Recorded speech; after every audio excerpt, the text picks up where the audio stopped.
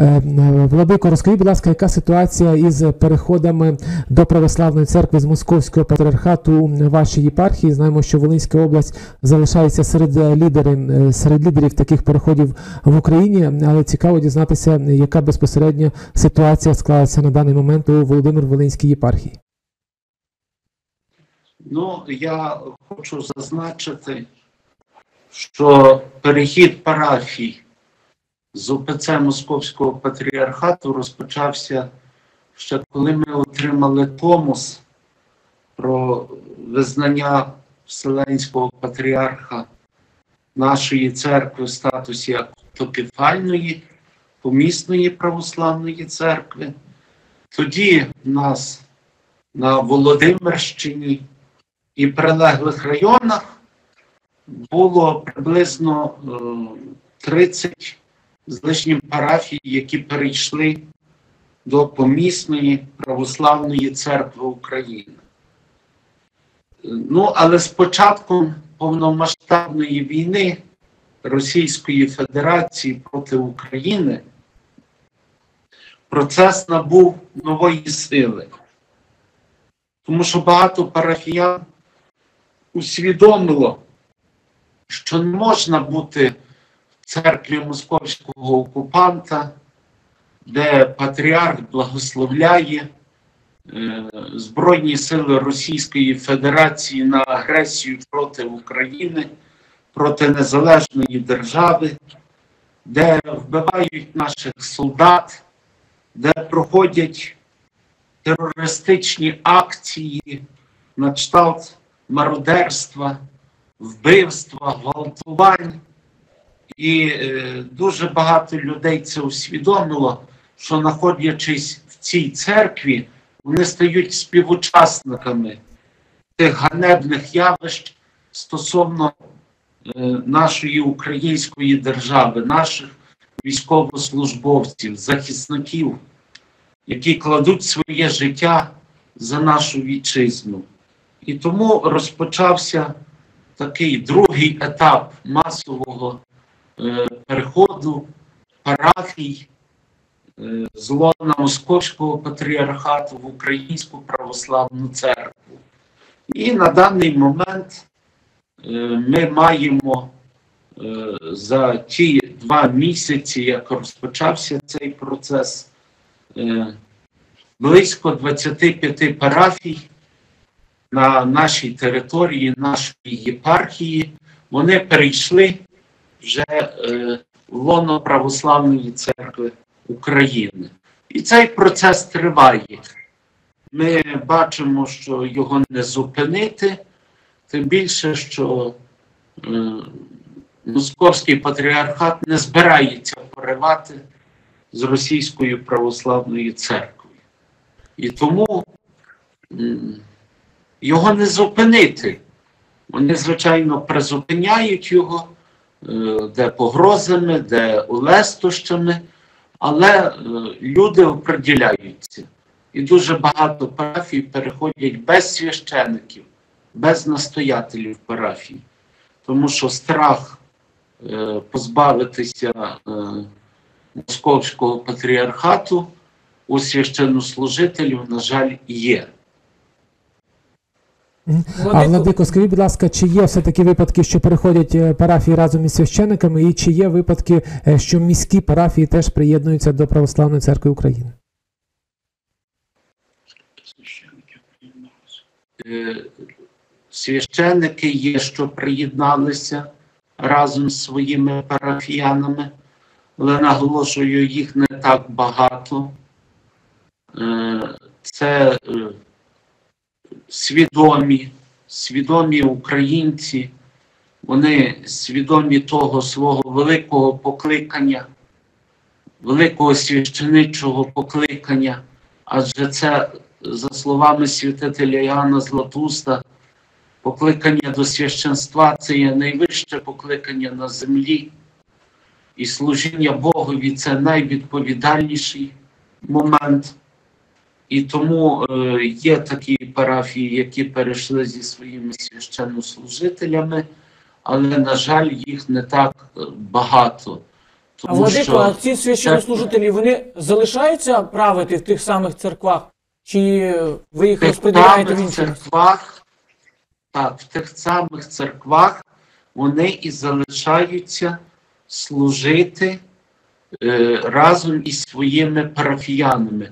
Тому що рішенням священного синоду е, нашої церкви від 25 березня було приділено чотири, чотири можливості е, переходу парафій.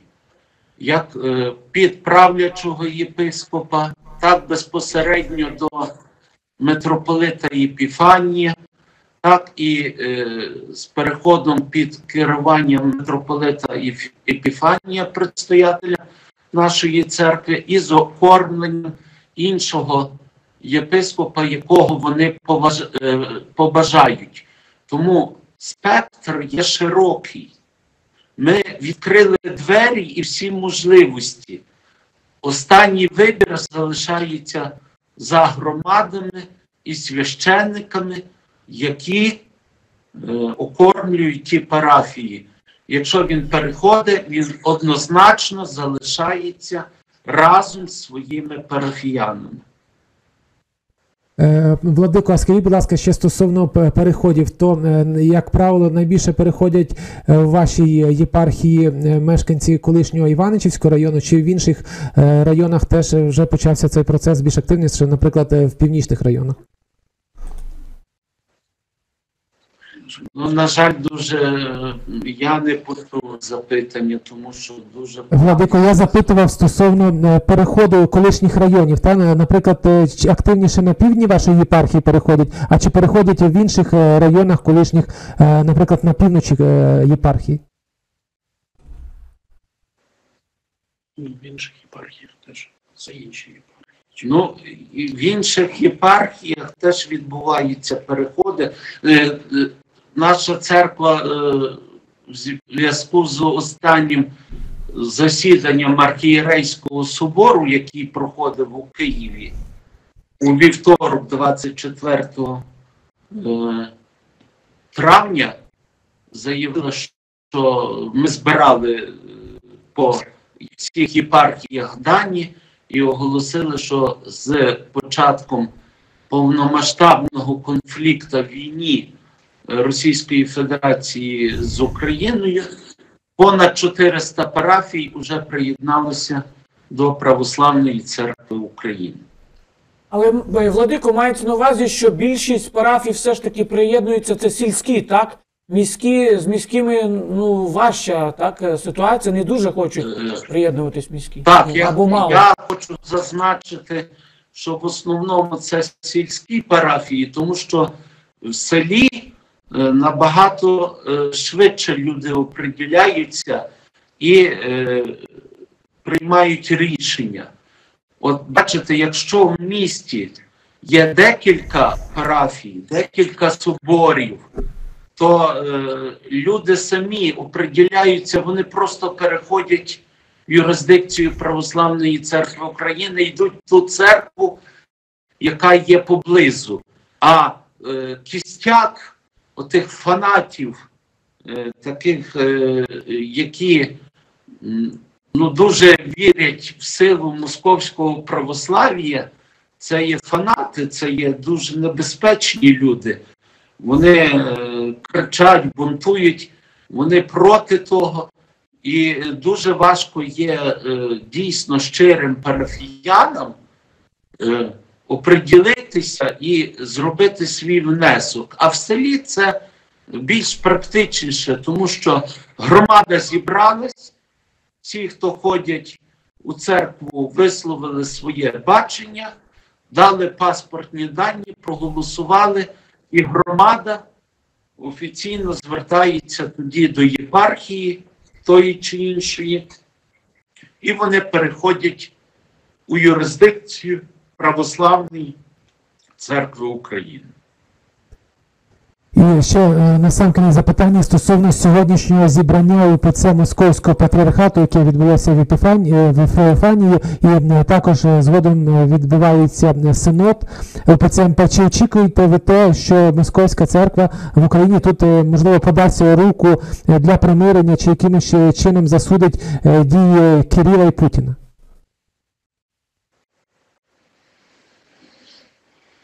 Ну, ну на жаль, е, зв'язок е, у вас дуже Так, ну мова йде про те, що Владико, що відбувається синод, так сьогодні синод е, Московського е, патріархату. Української православної церкви Московського патріархату. І, і як ви вважаєте, Ну, не знаю, що ви очікуєте від цього синоду? Чи можна очікувати, що там жорстко засудять агресію Росії в Україні? І, можливо, на якісь об'єднавчі кроки з православною церквою України будуть зроблені? Ну, е, наскільки я зрозумів питання, ви питаєте, і, і зараз відбувається, бо зранку було зібрання. Так, так.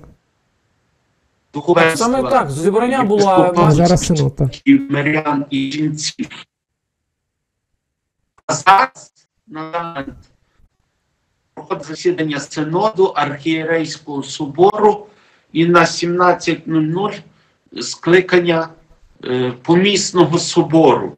Паралельно, я наскільки стало зараз відомо, проходить засідання священного синоду Російської православної церкви в Москві. Які рішення будуть прийматися, я не можу коментувати, бо їх не оприлюднено. Але заява Онуфрія, яка прозвучала зранку, вона, звичайно, є там засудження війни як такої, але не є, е, що голос церкви не був почутий, там сказано. Але е, всі довкола винуваті, тільки не московський патріархат. Він білий пушистий, і вони ні, ніякого е, не бачать взаємодії свого зв'язку з Російською православною церквою, яка благословила оце вбивство українців на нашій святій українській землі. Тому ну, почекаємо, які будуть рішення. Рішення і архієрейського собору, і помісного собору, який буде проходити сьогодні в Києві. Владико, ну і на завершення вже таке е, сьогодні завершальне запитання. Все ж таки мені дуже цікаво е, почути е, вашу думку. Можливо, у вас є інформація щодо монастирів, тому що церкви переходять, так. А от монастирі ми знаємо, також є Зимненський монастир. Чи є якісь не знаю рухи з боку монастирів для того, щоб переходити в православну церкву України? З монастирями набагато складніша ситуація, тому що вони знаходяться безпосередньому керуванні правлячих єпископів. Ви розумієте, колись монастирі в Україні це були самовправні одиниці. От ченці збиралися, розбудовували монастир, самі обирали собі ігумена, настоятеля монастиря, і вони могли вирішувати долю монастиря згідно свого церковного уставу. На жаль, зараз в Україні, особливо в Московському патріархаті, монастирі стали вотчинами єпископів чи митрополитів, чи предстоятеля церкви.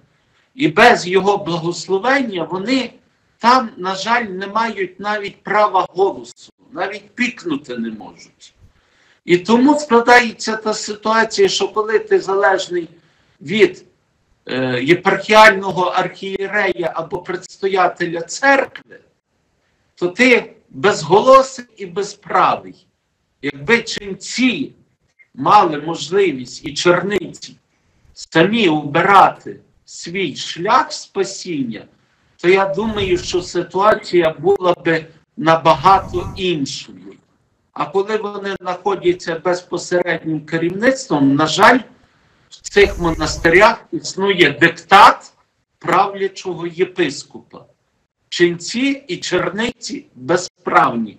Як вони можуть висловити свою думку? От коли навіть ченці Києво-Печерської лаври казали, що щось треба робити, що щось треба міняти, то тих, які не погоджувалися поминати патріарха Кирила, казали, поїдете до Маріуполя хресним ходом. От спеціально тих, хто не поминав патріарха Кирила, е, митрополит, митрополит Павло Лебедь відправляв Маріуполь до Азова. Ну, як можна в такій ситуації виявляти свою думку? От вони сидять в монастирях і тихенько мають свою думку при собі. На жаль. На жаль. Дякуємо вам, Владико, за те, що долучилися до нашого ефіру і розказали про ситуацію у вашій єпархії. Сподіваємось, що все ж таки е, ця ситуація, вона, як то кажуть, вирішиться мирно і е, Українська православна церква, більшість, ну всі е, парафіяни перейдуть в Православну церкву України, і в нас буде єдина соборна помісна українська церква. Отже, нагадаю нашим глядачам і слухачам. Дякую за можливість висловити. Так, і вам Дякуємо, дуже Владико. дякуємо. На зв'язку у нас був е, Владика Матфей, єпископ Володимир Волинський, Торійський православної церкви України. На все добре, тримаємось до перемоги. Христос Воскрес! Воістину воскрес.